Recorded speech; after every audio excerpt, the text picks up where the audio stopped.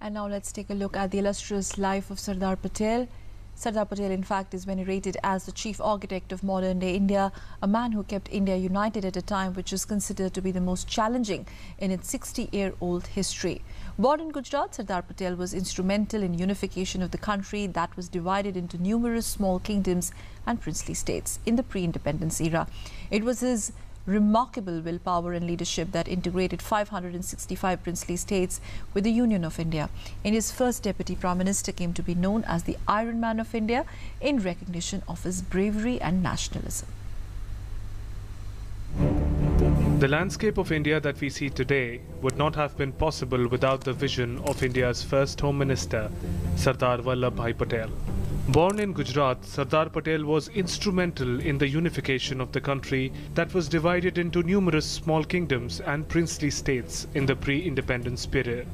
It was his remarkable willpower and leadership that integrated 565 princely states with the Union of India. India's first Deputy Prime Minister came to be known as the Iron Man of India in recognition of his bravery and nationalism.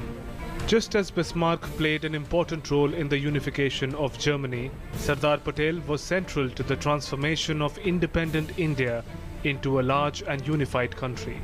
Bismarck was referred to as the Iron Chancellor of Germany, and Sardar came to be known as the Iron Man of India.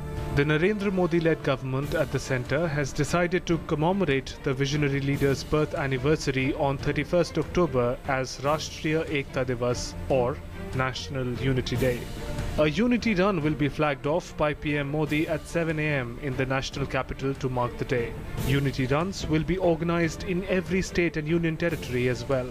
On this day, every citizen will take a pledge of national unity in a tribute to the visionary to whom India owes its unified existence. DD News